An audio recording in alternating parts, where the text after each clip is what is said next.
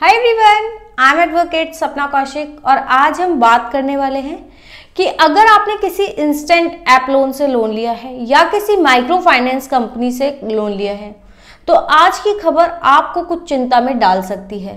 क्या है वो खबर? आज हम बात करेंगे, लेकिन उससे पहले एक और इंपॉर्टेंट बात कि अगर आपने हमारा यूट्यूब चैनल अभी तक सब्सक्राइब नहीं किया है तो प्लीज़ हमारा चैनल सब्सक्राइब कीजिए ताकि हम आपको ऐसे ही अपडेट्स दे सकें।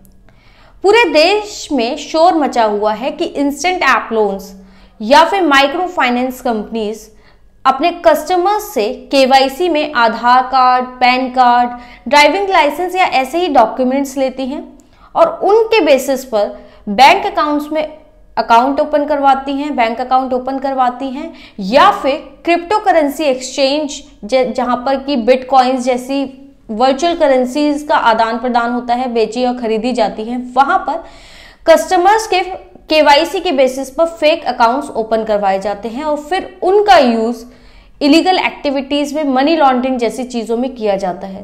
और कस्टमर्स की कंसेंट भी नहीं ली जाती और उनके डेटा के साथ कॉम्प्रोमाइज कर लिया जाता है।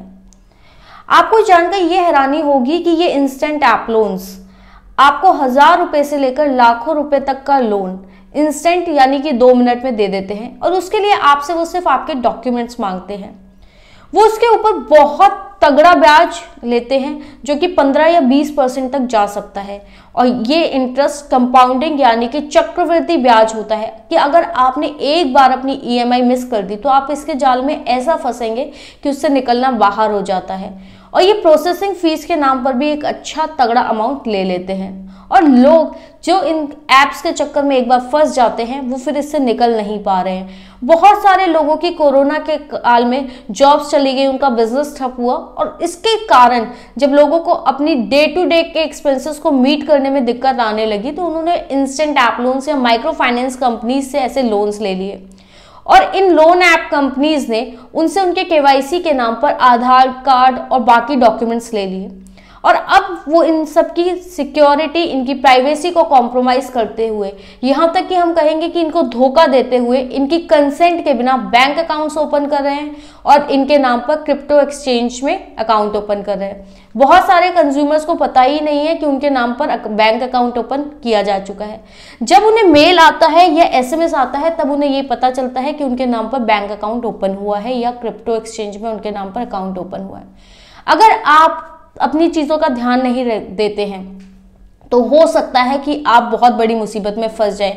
क्योंकि कभी भी उस अकाउंट से कोई भी इलीगल एक्टिविटी हुई या मनी लॉन्ड्रिंग हुई तो हमारे देश के डिपार्टमेंट्स के नोटिस और आपको थाने के चक्कर लगाने पड़ सकते हैं। इसलिए आप हमेशा ध्यान रखें, अगर आपको कोई भी ऐसा सस्पिशियस एसएमएस आता है या ईमेल आता है तो आपको कहाँ कंप्लेंट करनी है।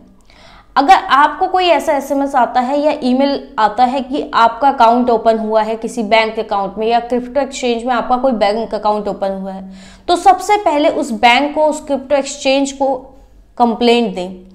सीधा बैंकिंग ओबर्ट्समैन में कंप्लेंट ना करें। सबसे पहले बैंक में कंप्लेंट दें कि आपने ऐसा कोई अकाउंट ओपन नहीं करवाया है और अगर ऐसा कोई अकाउंट ओपन हुआ है तो उसको क्लोज किया जाए। इसकी एक रिटर्न कंप्लेंट दें। इसके अलावा आप साइबर क्राइम में और या फिर थाने में जाके भी कंप्लेंट कर सकते हैं कि आपने ऐसा कोई बैंक अकाउंट ओपन नहीं करवाया है और किसी दूसरे व्यक्ति ने आपके के को यूज़ करके ये फेक अकाउंट ओपन करवाया है। क्योंकि ऐसे अकाउंट्स का इलीगल एक्टिविटीज़ में टेररिज्म में या फिर मनी लॉन्ड्रिंग जैसी चीज़ों में इसका यूज़ किया जा सकता है। तो आप सबसे पहले जैसे ही आपके पास अलर्ट आता है कि आपके नाम पर कोई अकाउंट ओपन किया गया है और आपने वो अकाउंट ओपन नहीं करवाया तो सबसे पहले बैंक में कंप्लेंट दें, साथ के साथ साइबर क्राइम और पुलिस के पास जाकर कंप्लेंट दे सकते हैं ताकि आपके पास एविडेंस रहे कि आपकी इंटेंशंस क्लियर थी और आपके साथ धोखा हुआ है। अगर बैंक से आपको 30 दिनों के अंदर अंदर कोई रिप्लाई नहीं आता है तो आप बैंकिंग ओबर्ट्समैन भी, में भी कंप्लेंट कर सकते हैं और वहाँ जाकर बता सकते हैं कि आपने अकाउंट ओपन नहीं किया है, किसी दूसरे व्यक्ति ने आपके नाम पर ये फेक बैंक अकाउंट ओपन करवाया है। आपको ये वीडियो कैसा लगा और आप किन और मुद्दों पर वीडियोस चाहते हैं प्लीज़ कमेंट सेक्शन में बताएँ ताकि हम आपके लिए ऐसे ही जानकारी उपलब्ध करवाते रहें।